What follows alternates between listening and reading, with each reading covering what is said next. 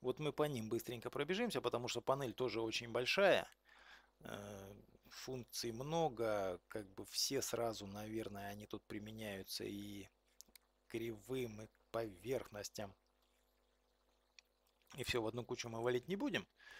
Но азы мы пройдем. Значит, перемещение. Выбирается объект, подтверждается выбор. И либо, значит, мы выбираем точку, откуда двигаем и куда двигаем. То есть, соответственно, если мы задействуем либо кнопочку орта, либо кнопочку Shift на клавиатуре, да, то есть у нас будет перемещение строго по осям координат. Если мы зададим расстояние с клавиатурой, значит у нас будет расстояние, перемещение на определенное расстояние. Если мы, сейчас повторим эту команду, да, выберем объект и зацепимся за какую-то его точку, да, и прилепим там, к какой-то точке другого объекта, то будет такое перемещение. Значит, копирование. То есть то же самое, выбираем объект, подтверждаем выбор правой кнопкой. Э, то есть выбираем точку, откуда мы копируем. И выбираем точку, куда мы копируем. То же самое, там забили значение, привязались к чему-то, допустим, к середине вот этой. Нажали правую кнопку, закончили операцию. Поворот. Значит, 2D, э, 3D. Ну вот мы пока рассмотрим 2D поворот.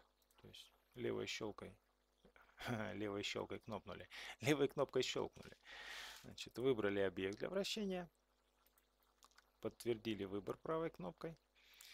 Э, сейчас нам предлагают выбор, выбрать э, центр вращения и, соответственно, можно либо скопировать поворачиваемый объект, либо повернуть без копирования. Ну, мы выберем без копирования повернуть, да, то есть за хвостик тут вот уцепимся. Теперь мы выбираем вот так и пошел у нас поворот. Значит, если, если мы можем выбрать значение, просто щелкнув мышкой, можем забить какой-то угол, предположим, 25 градусов, и увидим, что в этом случае у нас происходит вращение против часовой стрелки. То есть если мы повторим эту команду и забьем угол отрицательный, минус 25 градусов, то произойдет вращение по часовой стрелке. То есть вот это надо помнить. С этим люди путаются обычно, поэтому стараемся не путаться. Значит, панель масштабов. То есть то же самое. У нас разворачивающийся список в панели. Мы его достаем. Э, достали из панели Transform панель масштаб. И видим, что вот это у нас масштаб трехмерный, вот это двухмерный, это в одном измерении, да, и это у нас, как сказать-то, не, неконтролируемый масштаб. Значит, э, ну, трехмерный понятно, двухмерный. Выбираем объект, Выбираем точку. То есть также можем скопировать масштабируемый объект. Значит, э, масштаб выбираем 2. Вот у нас два раза увеличился. Если мы выбираем одномерное, значит, выбрали, нажали, точка, от которой мы пошли, и тянем его в одном направлении часто очень полезная функция. Так, значит, заключительная кнопка. Объект, подтверждение, точка, с которой мы пошли, да? Э, значит, вот так мы его тяганули по x, вот так мы его тяганули по y, ну и по Z еще, конечно, предлагают, но мы от этого уже откажемся. Просто правой кнопкой щелкнем, закончим команду. Значит, э, все эти команды будут рассматриваться еще и практически, поэтому мы сейчас по ним бегло, и в основном для того, чтобы вы знали, где это находится, чтобы потом, когда я буду применять эти команды, чтобы у вас не возникало ощущение новизны какой-то, да, то есть свежей информации, то есть мы это уже проходили, будем считать. Дальше мы закрепим навыки. Значит, зеркальное отображение. Выбрали объект, подтвердили выбор. Старт. Конец.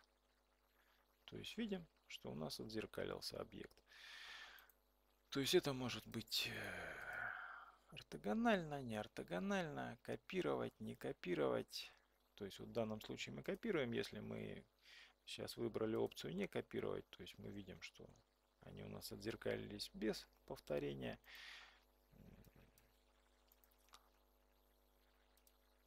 Ну вот, то есть классическое зеркало. На этом, наверное, на сегодня мы остановимся. Информации это довольно много.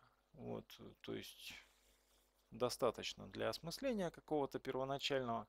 Вот, э, значит, мы разобрали как-то кривенько, косенько, бегленько, да, двухмерное черчение. Дальше мы перейдем к практике, значит, э, практике именно двухмерного черчения.